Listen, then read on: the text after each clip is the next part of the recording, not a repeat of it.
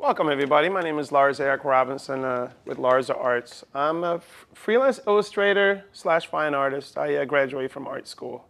And we're going to talk about how to frame an oil painting. Um, for example, this one here, I have the frame and it's all taped off in the back.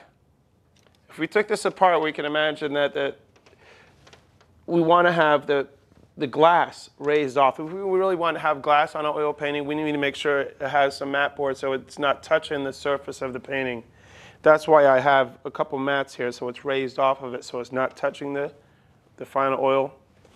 And uh, so that's a very important factor when it comes to, to framing um, oil paintings. Most of the time people don't need to uh, actually have half frames on oil paintings. What they basically do is they have just the frame part and then the painting itself without the glass. Because six weeks later, after you finish your painting, you can put a varnish on it, a medium varnish, and it gives it a gloss, and you don't have to really worry about it, about it affecting it. But this, that's one of the ways that you frame oil paintings. Thank you for joining me. My name is Lars Robinson with Larza Arts.